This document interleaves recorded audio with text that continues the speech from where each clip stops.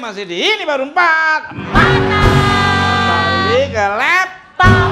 Sukses dalam pernikahan bukanlah dicapai sekedar melalui menemukan pasangan yang tepat, melainkan juga dengan menjadikan pasangan yang tepat. Ya.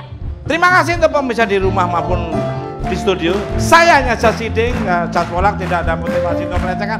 Dan kalau ada kata-kata yang kurang berkenan kami mohon maaf. Ambil tontonan yang bagus, yang kurang berkenan jangan diambil. Tonton terus ini baru empat mata. Senin, Selasa, Rabu, Kamis, Jumat tetap di ini baru empat mata. Ut bermata sari.